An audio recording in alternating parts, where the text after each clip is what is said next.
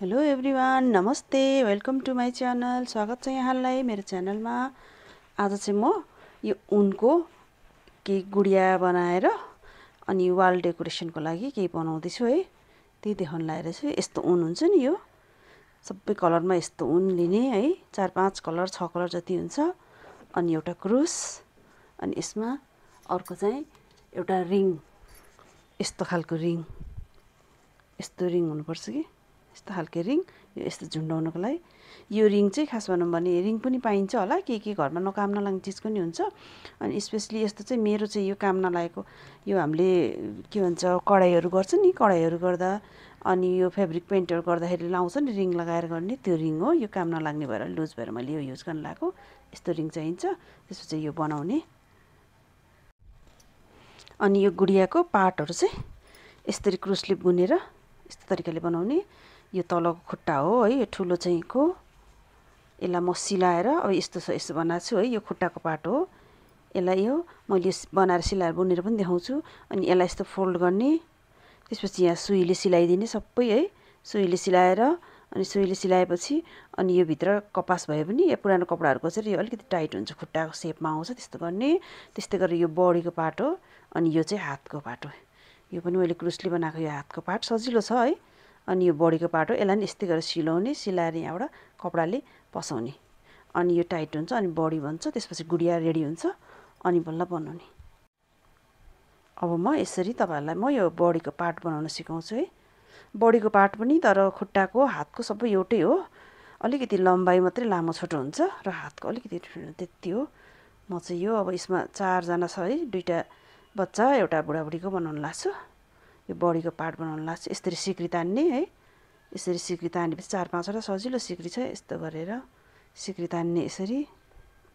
अनि त्यसलाई फेरि एकचोटि घुमाउने एकचोटि घुमाउने फेरि यसमै लाउने है। क्रुस चलाउन जान्ने मान्छेहरूले जानिन्छ सजिलै। सिम्पल हामीले क्रुसी बुन्छ नि टेबल पुसहरू जे बनाउँदा नि त्यस्तै तरिकाले हो कि सिर्फ यो पार्ट मात्रै बनाउने। यस्तो गर्ने। दुईवटा। अब यो सिक्री भरि पुरै बनाउने यसको पार्ट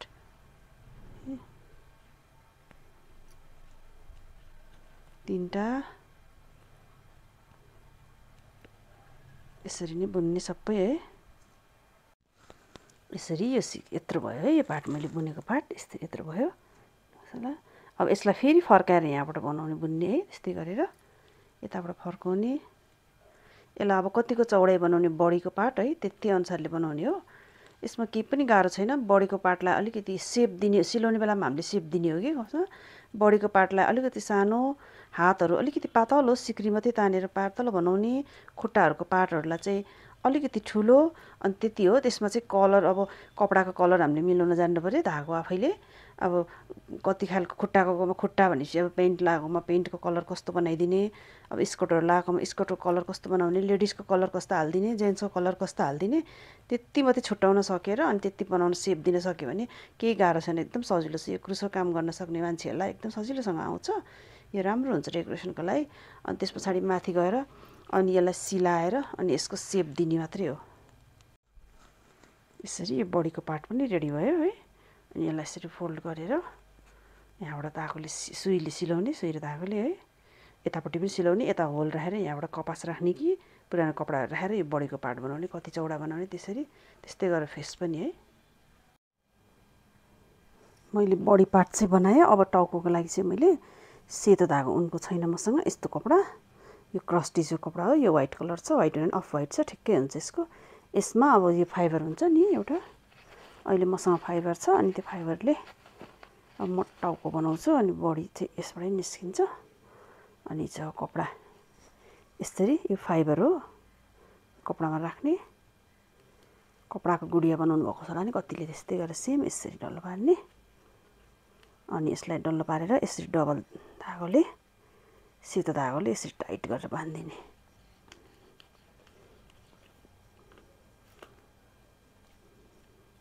टाइट गरेर यसरी बाँधिदिने। यसको यो सेप भइहाल्यो है एकपट्टि यसरी भयो यो बडीको माथिको टाउको भाग भयो। अब यस्तो तल यो बडीकोलाई कपडा खाँदै पनि यही हुन्छ यसमा माथि तिजो बनाएको लुगा लगाइदिँदाखेरि ठिक्क हुन्छ कि? यस्तो हुन्छ कि? त्यो चाहिँ लुगा लाउँदाखेरि यस्तो भयो यो चाहिँ केटा मान्छेको हो यो केटा मान्छेको होइन यो मैले हिजो बनाएको त्यो लुगा सिम्पल सिलाएर त्यो क्रुसले त्यही हो त्यो लगाइदियो यो पनि त्यही खुट्टा सिम्पल सेम यो लामो लामो पिस सिलाएर यहाँ जोइन्ट गरेको तर मैले यो धागो चाहिँ बाक्लो भएर हाड भएर यसमा केही पनि हालेको छैन यत्तिकै भयो यो हात एउटा अब यहाँ कपाल लगाइदिन्छु अनि कपाल लाउँदा रेडी हुन्छ यस्तै गरेर केटी सबै बनायो भने त्यसरी नै केटी मान्छेको चाहिँ यस्तो बनाएको छु कि यस्तो लुगा लगाएको केटाको चाहिँ त्यो पाइन्ट लगाएको अब यसको यसमा चाहिँ यस्तो सिक्रीमा यस्तो सिक्री बनाएर धागोले यसरी कपाल जस्तो बनाइदिए पनि हुन्छ।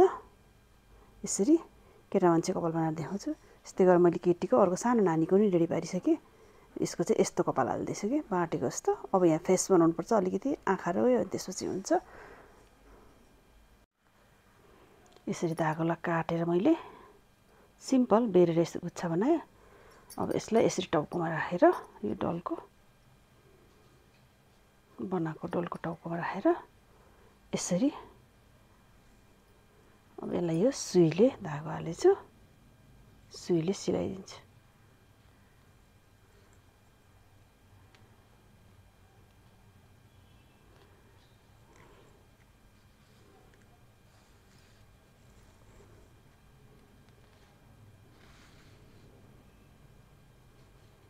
यसरी सिलाउने अनि मिलाएर यसरी कपाल बनाउने अनि यसलाई पछि कटिङ गर्ने। यस्तो हुन्छ कि? यस्तो हुन्छ। कपाल भयो यो यस्तो सेपमा आयो। यो सानो खालको भयो। अब यसको यो सेप आयो यसको अब आँखाहरू बनाएपछि सेप पुरा हुन्छ। ल हेर्नुहोस् है साथीहरू मैले बनाएको पुरा भयो यो। उनको डल पुरा भयो बनेर यस्तो भयो यसको सेप अब यसलाई ह्याङ्गिङमा झुन्डाएर देखाउँछु है। मैले पछाडिपट्टि सिलाएको चाहिँ देखाएन तपाईँहरूलाई। यसबाट देखाइन्छु सजिलो छ।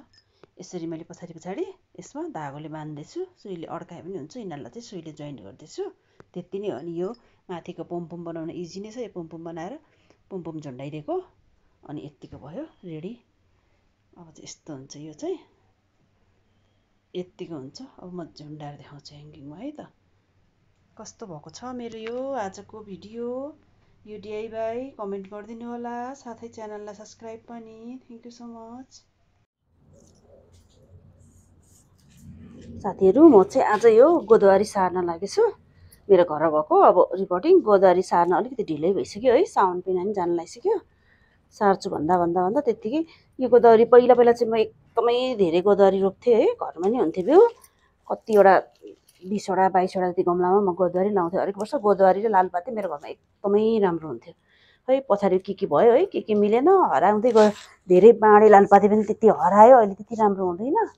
गोदावरी पनि त्यसपछि अलि राम्रो राम्रो भएन। अब पुरानो हुँदै गयो। कलर पाउँछ कि भन्दै नर्सरीको लोभले गर्दै झन् सबै फालिदिँदै गरेको त। अहिले त सबै हराएर गयो है? आजकल त नर्सरीमा त राम्रै नपाउँदो रहेछ। अस्ति पनि गएको। सानो बोट लिएर एक पाता यत्रो यत्रो पाताको छ अस्ति देखाएको पनि थियो नि त्यही चालिस रुपियाँ बोट पर्ने त्यही पनि। त्यही नि भने जस्तो कलर नपाउने। आजकल नर्सरीले नै आफैले नबनाएर सब इन्डियन आउँदो रहेछ गोदावरी पनि। अनि त्यति राम्रो नभेटाउने क्या बोट? यस्तो पुरानो बोट यस्तो भएर हेर्नु न जरा। अनि यो जरालाई अब फालेर म जरा पनि हेर्छु यसरी मैले हाँगा पनि काटिरहेको छु। हाँगा पनि सार्छु जरा पनि सार्छु। अब यो मिलाएर अनि यो एक दुईवटा गमला भएको अस्ति किनेर ल्याएको चार पाँच बोट। योलाई यसो सार्नु पऱ्यो भनेर आज मैले बल्ल दिन निकालेर अब ढिलो ढिलो हुन लागिसक्यो है। सार्न आँटेको छु यसरी म जरा पनि हाल्छु। अनि यो हाँगा पनि हाल्छु सानो सानो काटेको एक दुईवटा हाँगा पनि सार्छु। यता जरा गर्दाखेरि सर्नु त जरा सरी हाँगा सरिहाल्छ त्यही पनि राखिदियो भने जरा पनि लगाइदियो भने मजाले सर्छ त्यही भएर यो माटो पनि खनाएँ है। किराहरू रहेछ अलिअलि उनीहरू त्यो निकालेर अब यो रेडी पारेछु। अब म सार्छु। मैले चाहिँ यसरी गमला रेडी पारेँ। यसमा चाहिँ मैले धानको भुस एकदम खोक्लो बनाएको छु गमला। धानको भुस अनि तलबाट धानको भुस हालेको छु अलिअलि गिटी बिछाएर त्यसको माथि अलिकति मल मल अहिले मैले केही पनि हालेको छुइनँ यो बर्खाको टाइम भएर। अब अलिक पछाडि हाल्ने सरेपछि मर्छु नि मल मैले हालेँ भने अलिकति पिना मात्रै हालेको छु त्यसको माथि अनि माटो। धानको भुस अनि तल गिटी धानको भुस त्यसपछि थोरै पिना मल अनि अरू मल हालेको छैन अनि त्यसपछि माटो हालेर मैले गमला रेडी पारेँ। अब म यसमा यो लगाउँछु सार्छु। एक दुईवटा जरा भएको लगाउँछु। यो जरा भएकोलाई यसरी जरा काटिदियो भने चाहिँ यो धेरै ठुलो फिजिन्न झ्याङ्गिन्न। एक्स्ट्रा जरा फालिदिएर यसरी एक्स्ट्रा जरा फालिदिने अनि थोरै थोरै जरा मात्रै राखेर आइदियो भने सर्छु। एक दुईवटा जरा भएको लाउँछु अरू एक दुईवटा सबै यो हाँगा काटेको लगाइदिन्छु। त्यहीबाट पनि सर्छ मजाले हाँगाबाट पनि सर्छ। तर यो लामो लामो जरालाई चाहिँ काटिदियो भने झ्याङ्गेर जान्न बोटहरू मजाले सर्छ। साह्रै ठुलो घ्याचक्क हुँदैन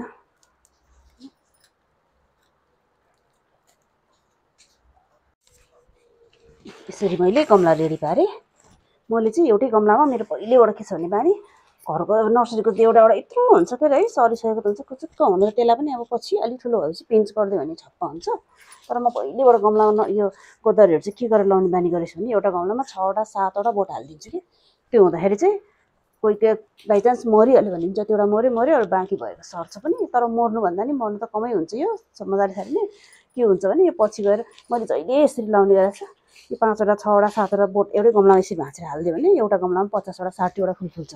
त्यसरी मैले पहिला पहिला एकदम धेरै फुल लाउने गरेको थिएँ। म त्यसरी लाउने गरेको छु गोदावरी। अहिले पनि त्यसरी नै लगाएको छु। यो फुलेपछि यसको रिजल्ट पनि देख्नु भइहाल्छ। अब जाडोमा फुलेपछि कतिको हुन्छ पाँचवटा छवटा हालेको छु मैले है। यसरी मैले गोदावरी रेडी पारेँ। अब घरको मेरो यो गोदावरी सार्ने बर्खामा सिद्धो सजिलै छ यसरी नै। तपाईँहरूले पनि माटो रेडी पार्नु। अनि यसको जरा पनि अलिअलि काटेर जरा भएको होला नि काटेर सानो सानो जरा राखेर हालिदिनु। त्यसपछि मुन्टा मुन्टा नै हालेर अल्दिन नहल्लिने गरेर पानी मजाले भिजाएर नहल्लिने गरेर राखिदिनुहोस् सबै सर्छ। यसरी फुल धेरै फुल्छ पाँचवटा छवटा बोट एउटै गमलामा लाउँदाखेरि तिसवटा चालिसवटा एउटै गमलामा पचासवटा फुल फुल्छ। ah.